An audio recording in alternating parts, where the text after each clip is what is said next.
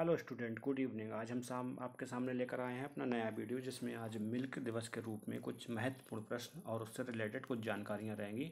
तो सबसे पहले आप हमारे चैनल को सब्सक्राइब कर लें वीडियो को लाइक करें और शेयर करें अपने दोस्तों के साथ में जो तैयारी कर रहे हैं। चलिए शुरू करते हैं कुछ।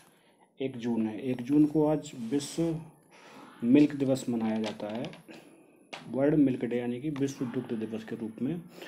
तो आइए इस संबंध में कुछ क्वेश्चंस भी करते हैं और इससे रिलेटेड कुछ जानकारियाँ भी आप लोगों को देते हैं।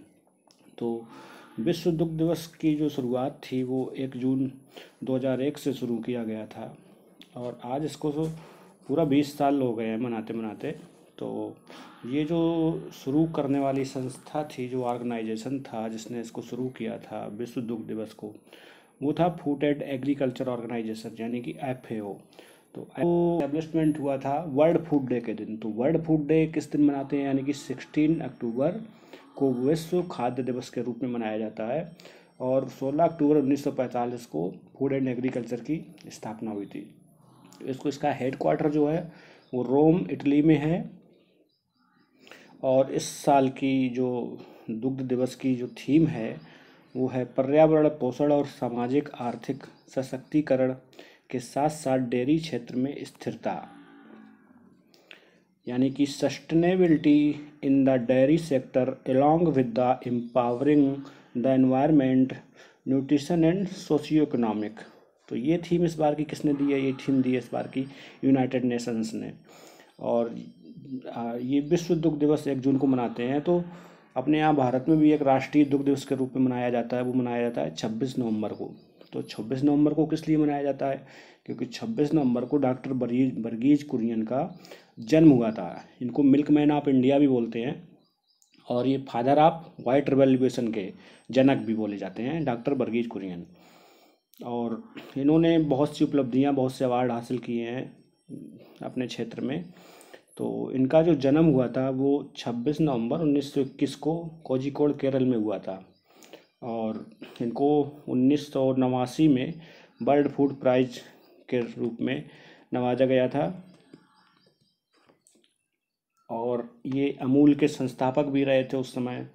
तो अमूल का जो स्थापना हुआ था, वो चौदह सितंबर 1946 में अमूल का इस्टेब्लिशमेंट किया गया था। तो अमूल का ये बहुत इंपॉर्टेंट क्वेश्चन बनेगा यहाँ पे, जैसे अमूल है। तो अमूल का पूरा नाम क्या है? A M U L A M U मतलब कि आनंद मिल्क यूनियन लिमिटेड।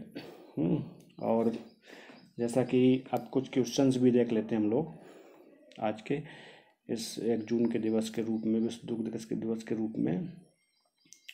और हाँ एक जून को और एक इंपॉर्टेंट दिवस है, जिसको अंतर्राष्ट्रीय बाल दिवस के रूप में भी मनाया जाता है, एक जून को। आज ही के दिन इसकी शुरुआत की गई थी। तो अंतर्राष्ट्रीय बाल दिवस एक जून को मनाया जाता है और चौदह नवंबर को क्या मनाया जाता है? बाल दिवस के रूप में। ध्यान रखिएगा दोस्तों ये क्वेश्चन आप लोग। तो चलते हैं। अब कुछ क्वेश्चंस की ओर।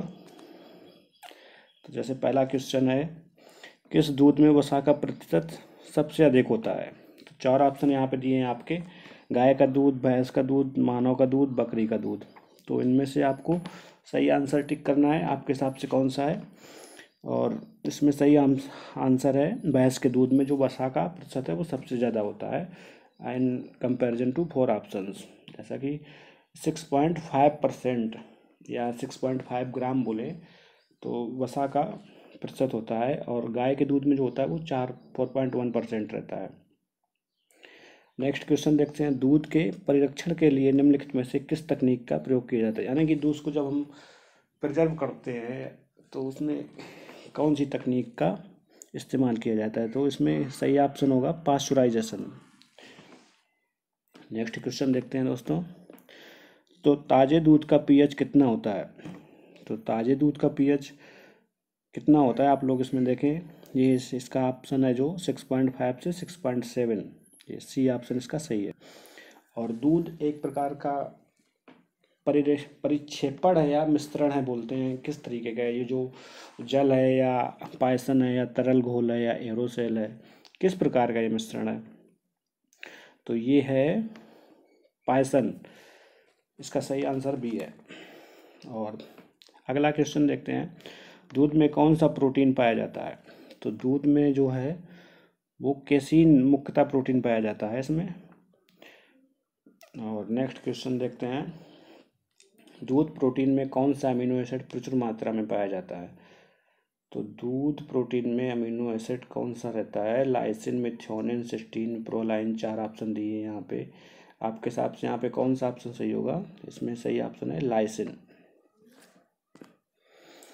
और कैसीन ये थोड़ा टाइपिंग मिस्टेक है। कैसीन किस प्रकार की प्रोटीन है? ग्लाइको प्रोटीन फास्फोप्रोटीन या मट्ठा प्रोटीन या ए और बी यानी कि ग्लाइको और फास्फो दोनों प्रकार की। तो ये यहाँ पे करेक्ट ऑप्शन सही होगा।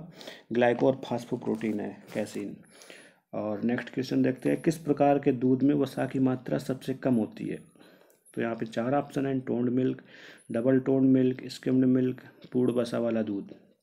तो इनमें ऑप्शंस के हिसाब से यहाँ पे जो सही क्वेश्चन होगा, वो होगा स्किम्ड मिल्क स्किम्ड मिल्क में जो है वसा की मात्रा सबसे कम होती है। नेक्स्ट क्वेश्चन देखते हैं, किस दूध किस विटामिन का खराब स्रोत है? या कम बोले तो खराब स्रोत है, किस प्रकार के विटामिन का है? तो यहाँ पे चार ऑप्शन दिए vitamin A vitamin B vitamin C और विटामिन डी। तो इसमें करेक्ट ऑप्शन है आपका आंसर नंबर विटामिन सी क्योंकि विटामिन सी दूध में बिल्कुल नहीं पाया जाता है। और नेक्स्ट क्वेश्चन देखते हैं, किस भोजन को संपूर्ण भोजन के रूप में जाना जाता है? तो यहाँ पे तो चार ऑप्शन यहाँ भी हैं, अंडा, दूध, दलहन, मांस। तो संपूर्ण भोजन के रूप में सिर्फ़ दूध को ही संज्ञा दी गई है। तो संपूर्ण भोजन के रूप में यहाँ पे बी ऑप्शन सही है, दूध। नेक्स्ट क्वेश्चन देखते हैं दूध का क्वथनांक क्या है? तो दोस्तों, दूध का क्वथनांक कितना होता है? क्वथनांक बोले तो बॉइलिंग पॉइंट यानी कि बॉइलिंग पॉइंट कितना होता है दूध का यहाँ पे? तो यहाँ पे चार ऑप्शन दिए हैं hundred degree Celsius hundred point two degree Celsius ninety nine point five degree Celsius या नॉन ऑफ़ दी जिनमें से कोई नहीं। तो यहाँ पे जो सही ऑप्शन होगा वो hundred point two degree centigrade degree Celsius होगा। और वैसे बॉइलिंग पॉइंट जो वाटर का रहता है वो हंड्रेड डिग्री सेल्सियस रहता है। और यहाँ दूध का हंड्रेड पॉइंट टू है। और और कुछ क्वेश्चंस और हैं। कामन, आप लोग नोट कर लीजिएगा। उनको भी जैसे कि यहाँ पे दूध का क्वथनांक पूछा था तो एक क्वेश्चन और बन जाता है यहाँ पे कि दूध का हिम हिम तो फ्रीजिंग पॉइंट कितना रहेगा दूध का? जैसे माइनस पाँच डिग्री हो गया, या ऑप्शन या zero point five five degree Celsius हो गया माइनस में है सब माइनस अठारह डिग्री सेल्सियस हो गया, या ज़ीरो डिग्री सेल्सियस हो गया। तो इनमें से कौन सा ऑप्शन जो होगा वो सही होगा? तो दूध का जो हिमांक होता है, वो आप लोग ध्यान दीजिएगा minus zero point five five degree Celsius होता है। ठीक है दोस्तों? और नेक्स्ट कुछ क्वेश्चन और हैं, हम ओरली बताते हैं आप लोगों को। आप नोट कर लीजिएगा अपने बुक्स में या अपने रजिस्टर्स में। तो जैसे माँ का दूध जो है, पहला दूध जो होता है, उसको किस नाम से जाना जाता है? तो उसको जानते हम लोग, कोलेस्ट्रम या खीस के नाम से जानते हैं। ठीक है, और जैसे कि दूध में हल्का येलोइस कलर जो होता है तो वो किस की कमी मतलब किसके कारण होता है वो हल्का येलोइस कलर तो वो जो येलोइस कलर होता है, जैसे काऊ का, गाय का मिल्क लो तो हल्का हल्का येलो रहता है तो वो कैरोटीन के कारण रहता है। ठीक है मेरे स्टूडेंट्स और जैसे बोलते हैं, और एक क्वेश्चन और इंपॉर्टेंट बन रहा है यहाँ पे, जैसे मिल्क शुगर तो मिल्क शुगर कौन सी होती है? मिल्क शुगर कौन सी होती है? लैक्टोज होती है। और लैक्टोज जो है वो कंपोजिशन होता है किसका? ग्लूकोज और कैलेक्टोज का। और दूध में केसिन के अलावा और प्रोटीन पाई जाती है, जैसे वे प्रोटीन होती है। कैसिन और वे दो प्रोटीन रहती हैं। तो कैसिन जो होती हैं वो ग्लाइको प्रोटीन फास्फो प्रोटीन होती हैं, आपको जो होती हैं वो लैक्टो ग्लोबलिन और लैक्टो एल्ब्यूमिन होती हैं। ये प्रोटीन वे प्रोटीन होती हैं। तो कैसा लगा आप लोगों को हमारा वीडियो, ज़रूर बताइएगा। और चैनल को सब्सक्राइब कर लें, वीडियो को शेयर करें अपने दोस्तों के साथ में।